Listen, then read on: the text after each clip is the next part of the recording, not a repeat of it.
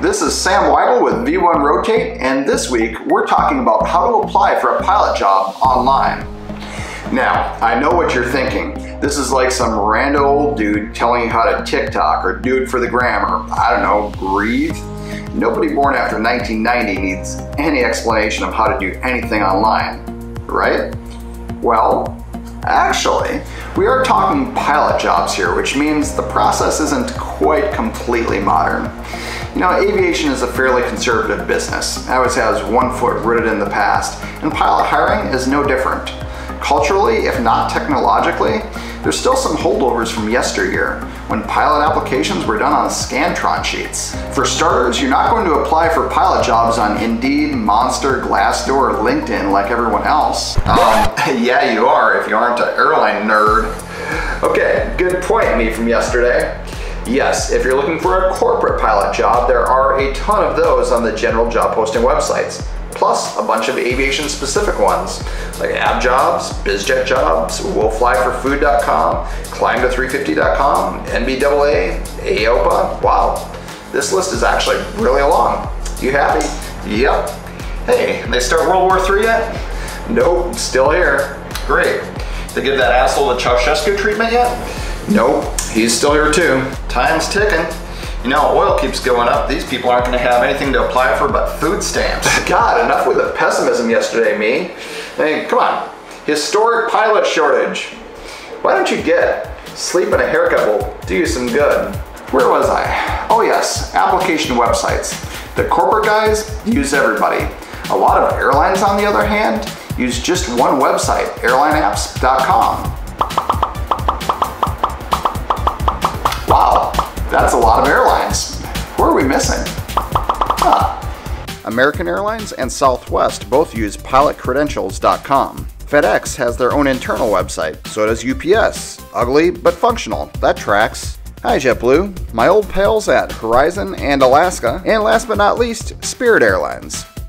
Most everyone else uses airline apps, including just about every regional still standing. Let's have a moment of silence for the late Great Lakes Airlines. Now, on one hand, it's kind of nice to have one website to apply for a bunch of different airlines. This is enough of a dull, pain in the ass process that it's good to avoid doing it too many times if you can help it. However, Airline Apps does charge you for that convenience to the tune of $69.95 a year. Now, if you're hard up for cash, you can apply to individual airlines for free. The process is basically the same and you could print off the application to the first one and use that to fill out the subsequent applications. That's still a pretty cumbersome process, and if you're casting your job search net pretty wide, you're probably better off just paying the membership fee. Alright, so I've decided that I've had enough of my life of leisure at nameless major airline, and I've decided to go back to my roots as a regional airline pilot. Sadly, Compass Airlines is no longer around. So, I've decided to apply to their last remaining step sibling, GoJet. This is a bit ironic because 10 years ago, while I was flying for Compass Airlines, GoJet was sending me recruiting materials. Mind you, we were owned by the same guy. I think at one point they even sent me a Starbucks gift card. Um, thanks guys. The first thing you want to do before you even start the application is get all your information together in one place. We're talking FAA licenses, medicals, FCC restricted radio telephone operators permit. You do have that, right? Up-to-date logbooks, driver's license, passport, address history, employment history, educational records. Ideally, you'd keep a lot of these records digitized and stored in one convenient spreadsheet or document to reference throughout your career, and back that up in multiple places. Alright, so now we're ready to roll on up to airlineapps.com, click on the GoJet icon, and double check the requirements. Ah, sweet. Direct entry captain. We have those at Nameless Major Airline too. It's a pretty sweet way to be junior forever. Well, looks like I qualify. Let's apply. If you've never used airline apps, you're going to start by entering your contact info, choosing a login ID, password, and PIN, accept the terms of service, choose your desired level of harassment, and then let's begin. I'm not going to make you watch me fill out the entire application, that would be excruciating, but I will talk about navigation and a few potential gotchas.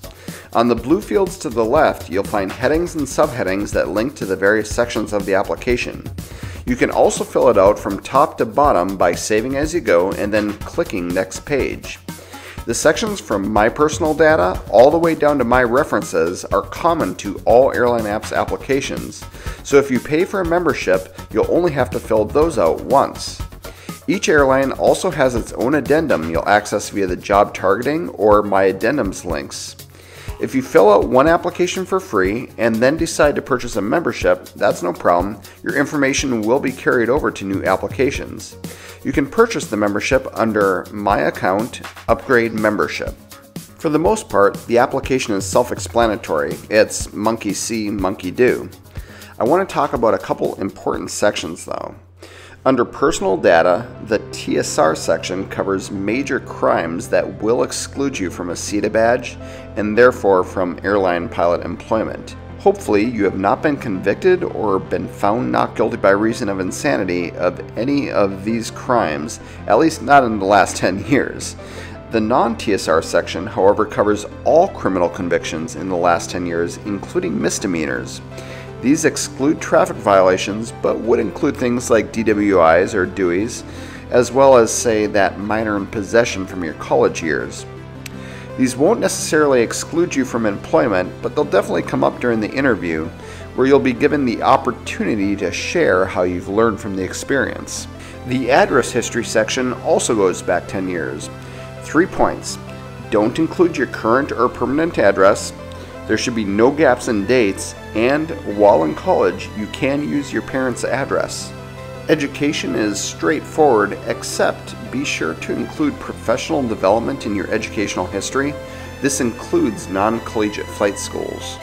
Your driving record infraction section, unlike the criminal history, has no 10 year expiration. Use a little common sense here. I certainly don't remember the particulars of the tickets I got in my teenage years, and they're no longer on my driving record, so I didn't put them. Anything on your record, though, should be here. And then, in the criminal section, you're asked about DWIs, DUIs, and license suspensions or revocations. There may be some duplication from the non TSR criminal section above. Employment history is another section that's not just 10 years, it's your whole life. However, the entries that really matter are your flying jobs, because they form the basis of the PRIA search. That's the Pilot Records Improvement Act, which requires air carriers to contact a pilot's previous employers for at least the last five years and obtain training and qualification, disciplinary, and termination or resignation records. Two points here. It's really important that there not be any gaps in your employment if there are gaps, you'll have to explain them here and provide a reference later in the application. Secondly, if you're like me and are an aviation angel of death, you may have some defunct employers in your wake. I have four. Assuming you don't know if someone is still maintaining PRIA records, just put the company's last known address and phone number. Your prospective employer has to make a good faith effort to obtain records, but if they don't get them in 30 days, they can still hire you. The PRIA process is currently being replaced by a master pilot records database, which should make the defunct employer problem a moot point. Filling in your flight time is probably the most frustrating and time consuming part of this entire process. You'll enter it by aircraft model. This is where I hope, for your sake, that you use an electronic logbook. It makes this process so much easier. A lot of instructors like to start you on a paper logbook because it makes endorsements easier, and that's fine, but as soon as you're done with training through, say, commercial multi-engine, just go ahead and go digital. It only gets harder the longer you wait. A couple points about entry here. Dual given is not included in PIC time, you have to split it out. Dual received is also split out from PIC, so if there was instruction where you also log PIC, you need to enter it as dual student time only. All of these columns should add up to your total time. When you are done entering all of your flight time by aircraft type and also by flight condition and instrument approaches, review your totals. If you entered everything correctly, the grid here should match your logbook totals. If everything is not within an hour or two, figure out what went wrong. You'll be bringing your logbooks to the interview, and any discrepancies between them and your application will be a red flag to the interviewer. You should have at least three references, with at least two of those having flown with you in a professional capacity. These people can also write you a letter of recommendation, but that's really a separate thing. These are folks that the airline can call up and ask about you. Absolutely ask them to be a reference before you put them down.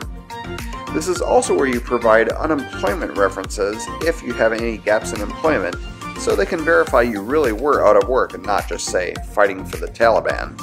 Okay, we're down to job targeting. I'm a cheapskate, so there's only one company here. With membership, you can target multiple airlines. For each of these, you need to fill out their addendum. Among other things, this is where you'll solicit letters of recommendation. This is an opaque process to you. You just enter the email and wait for your contact to fill out the LOR. I will note that if your contact works for your targeted employer, it's best that you use their work email address. Two last steps. First, validate your app. Honestly, this validation is very basic and will only alert you to huge glaring errors. There's a lot I've left incomplete on this application and yet they're not flagging anything. So what you really need to do is click on the company name and display a printable copy of your application. Print it. Go over it with a marker looking not just for incomplete or incorrect information, but also spelling, grammatical and punctuation errors, and inconsistent formatting. Get your most anal retentive friends to review your app with a fine-tooth comb. Then, and only then, hit the publish button. Once you've applied, you should update your application often.